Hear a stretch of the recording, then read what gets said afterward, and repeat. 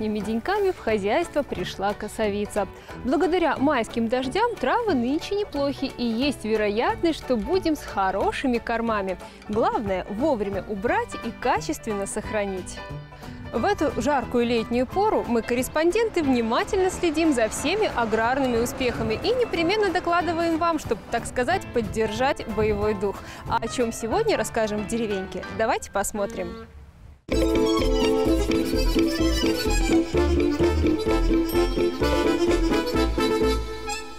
Стараемся накормить своих работников, чтобы хорошо работали, не было трудно.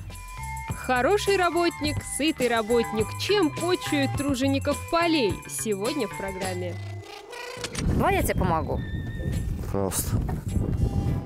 На студенческую стройку отправляемся вместе с деревенькой.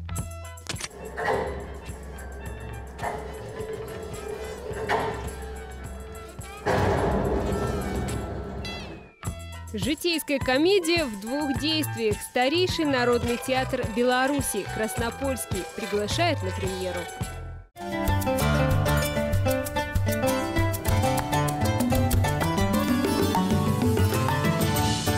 Подали. Просто, просто,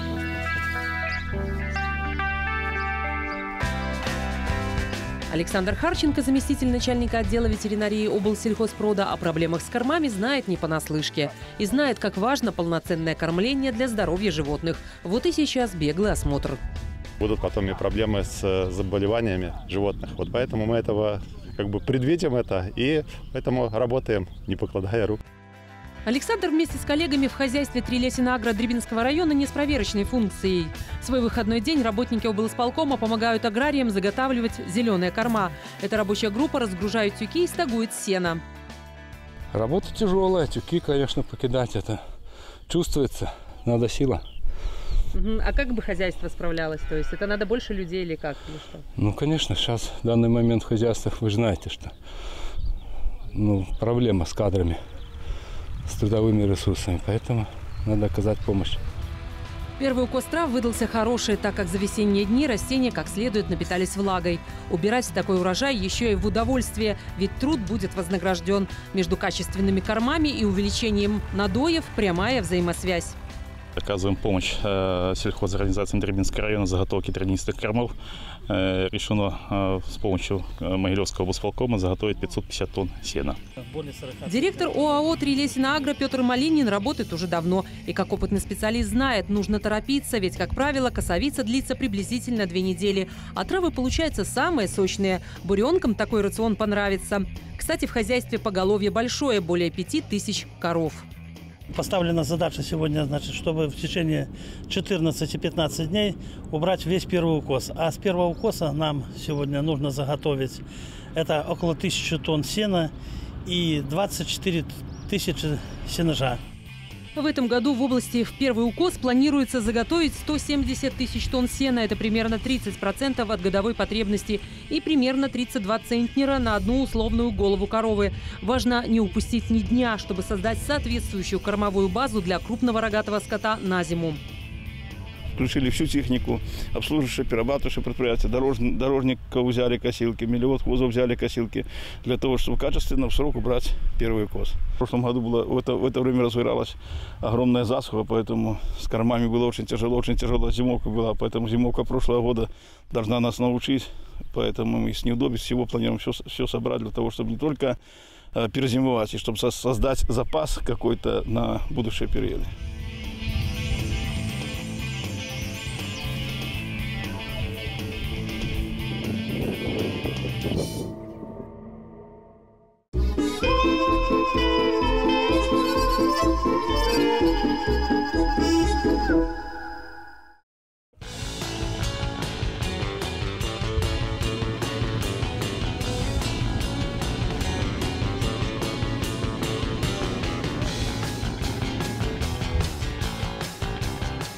Кипит работа на полях Мстиславского района у аграриев Косовица. Рабочий день начинается с первой зарей и заканчивается поздно вечером. А то и ночью потрудиться приходится. Что и говорить, лето традиционно горячая пора. Нужно не только уложиться в сроки, но и качественно провести кормозаготовительную кампанию. Начинаем с утра, с 5 и поехали. А, Трава хорошая, техника импортная не подводит. Завтрак, обед и поздний ужин практически во всех хозяйствах Мстиславщины проходят, что говорится, не отходя от техники, с доставкой прямо на поле. Стараемся накормить своих работников, чтобы хорошо работали, не было трудно. Сегодня вот борщ на первое, на второе каша гречневая с котлетой и на третье компот.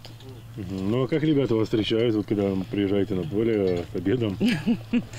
Ну как, ждут обеда, потом уже и ужина.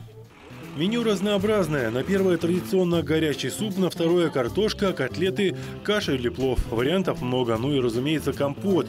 Как говорят у нас в деревеньке, кто работает, тот ест. Ведь сытый работник – хороший работник. Дополнительный стимул, диплом, денежная премия и концерт прямо в поле. Поздравляем вас. Спасибо вам за работу. Пожалуйста. Спасибо.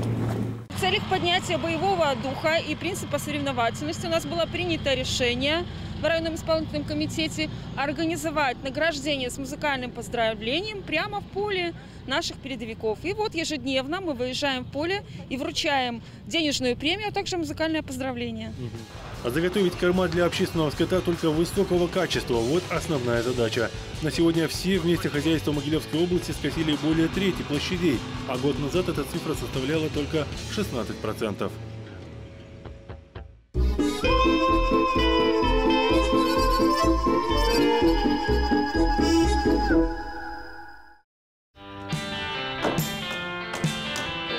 Колхозе «Родина» это уже третий по счету молодежный трудовой десант. Учащиеся 17-го Белынического профлицея помогают работникам хозяйства строить летний лагерь для содержания крупного рогатого скота. Сам вот этот трудовой семестр, а что он дает? навыки, что-то больше узнать о строительстве, себя там научить чему-нибудь. Мужчине всегда пригодится. Да.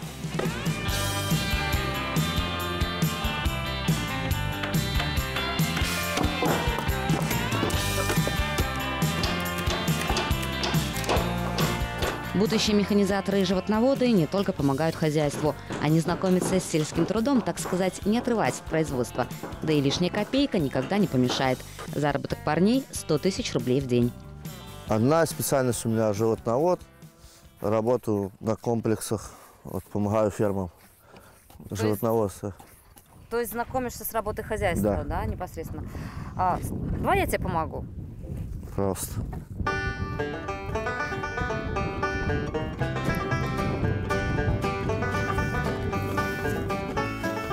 Нет, немножко не так. Так, как? Ну, аккуратнее. Прокрашивать хорошо надо. Отряд, который сейчас работает в колхозе «Родина», называется «Доброволец». Прежде всего потому, что к работе лицеистов никто не принуждает. Все только по доброй воле. Количество э, учащихся в отряде составляет от 10 до 12 человек. А Ребята все работой довольны. У нас э, меняется состав обычно отряда, потому что у нас все добровольно записываются, хотят работать, желают работать, потому что эта работа непосредственно связана с их будущими профессиями. Работают лицеисты с 8 утра до часа дня. На транспорте хозяйства их привозят на объект и отвозят обратно в Белынычи. Что касается результатов их труда, в родине ими довольны.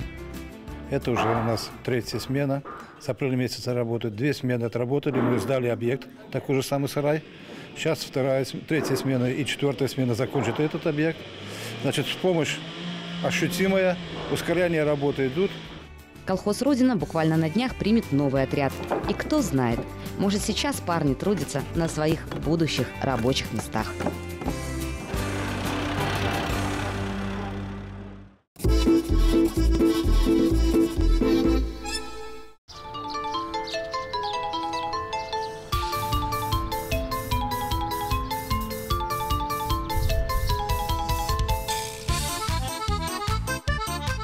июня чествуют апостола Карпа.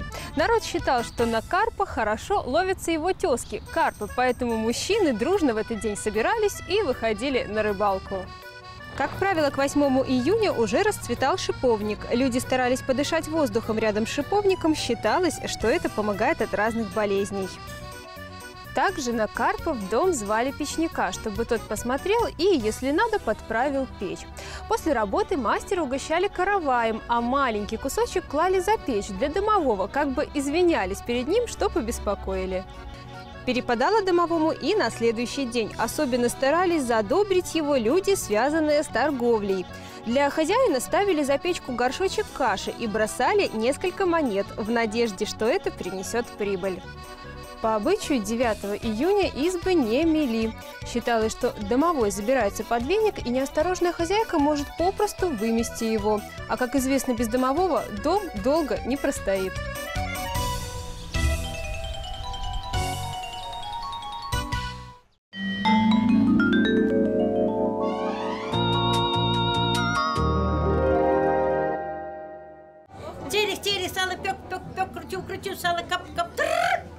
Соловей пеет.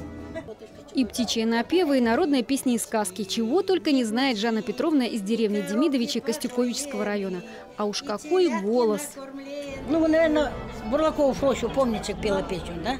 Вот точно я так спела.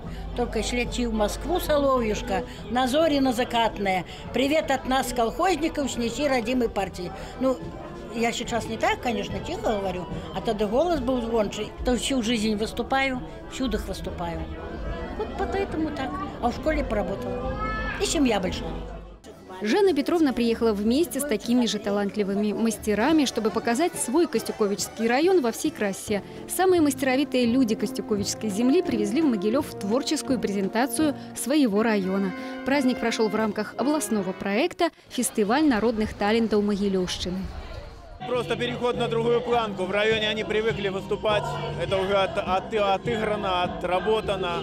А уже на областной площадке, по-моему, совершенно другие эмоции, совершенно другой адреналин.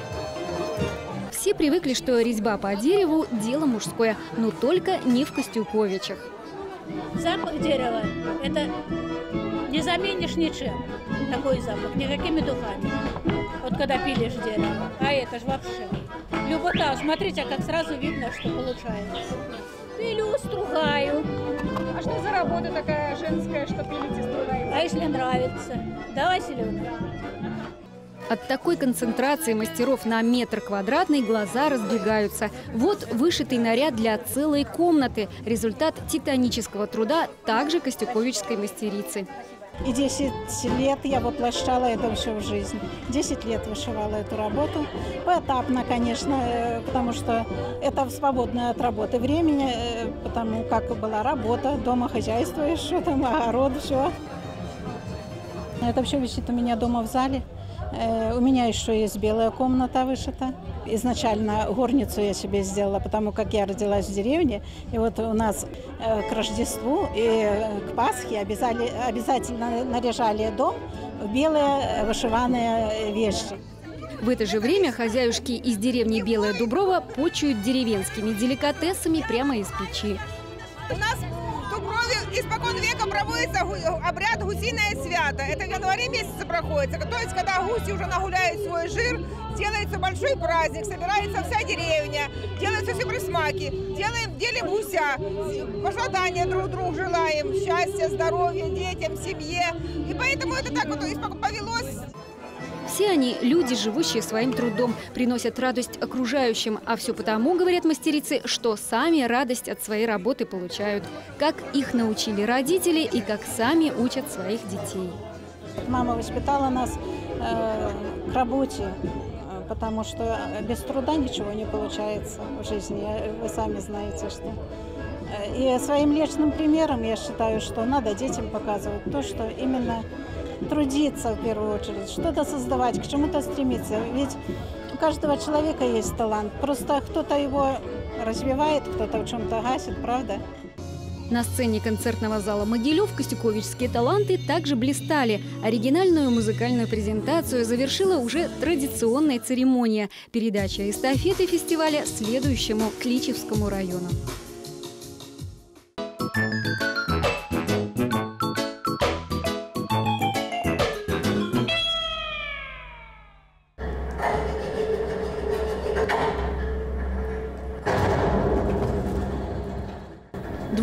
«Двое в лифте» – это новая постановка Краснопольского народного театра. На сцене двое мужчин, которые в женский день с букетами и подарками застревают в сломанном лифте. Диспетчер! Диспетчер, лифт не работает! Пьеса Ольги Степановой «Комедия в двух действиях». По совпадению, что ж, чего только в жизни не бывает, едут мужчины в лифте к одной и той же женщине. Один к законной супруге, другой к любимой подруге. А, пожалуй, вы правы. Мне нужно позвонить жене. Не могли бы вы одолжить свой телефон? Дело быстро доходит до драки, но все же постепенно идет к перемирию. На сцене Кирилл Челпанов и Александр Кузнецов играют соперников и уже потом товарищи по несчастью, но в жизни они добрые друзья. Два месяца в репетициях, поэтому мы уже думаем в одну точку единомышленно. То есть вы друзья? Да, мы коллеги, друзья, и общаемся, и работаем вместе, поэтому у нас все едино. Сплоченная компания. Сплоченной компанией можно назвать и весь Краснопольский народный театр. Он старейший в Беларуси, его создали в 1918 году, и за сто лет там поставили почти сотню спектаклей. Своего известного режиссера Валентина Ермоловича здесь помнят и любят. Сюда приходили и приходят сейчас люди разных возрастов и разных профессий. Я з дзяцінства марыла як бы стаць артысткай, але э, нарадзілася я ў невялічкай вёсцы, пагэтаму для раскрыцця э, таленту не было магчымасці і я дзякуючы вучаніцы Валенціна Івановича Ермаловича выйшла на сцэну першы раз у 17 год. Вось і з тых пор я тэатры. Адбылася першая моя прэмера, гэта была кампазіцыя краснаполе мой краснаполе і пасля заканчэння Ермалович сказаў цябе я нікуды не адпушчу, бо такі як ты нам патрэбны. Я Валентин Иванович, наверное, я больше не буду столькі страху нацярпеўся на гэтай сцэне, а ён падышоў пальцы ў кулак і да майго твару толькі паспрабуй кінуць тэатр у парашок сатру. Ветераны Краснопольского народного театра наблюдают за генеральной репетицией «Двое в лифте». Театр – это их жизнь, и они поддерживают своих молодых коллег. Людям нужен театр для того, чтобы, наверное, воплотить свою мечту. Вот, чтобы прожить жизнь героя через свои ощущения – я думаю, так. Премьеру «Двое в лифте» показали на региональном фестивале праздники любительских театров «Театральные вечерины». Сама история смешная и грустная, ну, все как в жизни. И актеры видят в ней не только пьесу о любовном треугольнике, но рассказ о том, как в суете повседневности люди оказываются далеки друг от друга. Ну, я намотал на ус, поэтому пьеса – это как урок. Тем более, те, кто увидит, я думаю, тоже э, нет, пьеса, пьеса немножко не об этом. Пьеса более социальная. Пьеса показывает, что муж и жена, живя в одном доме, не знают совсем друг друга, не знают ни привычек, ни каких-то там вкусов. Краснопольская премьера «Двое в лифте» имела успех, а актеры районного народного театра, как всегда, в новом творческом поиске. Приходите в театр!